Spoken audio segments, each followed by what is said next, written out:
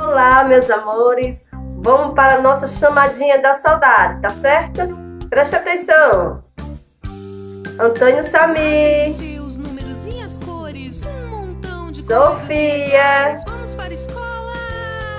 Bernardo. É hora de aprender. Maria Lavínia. Vamos para a escola. Letícia. Vamos para a escola.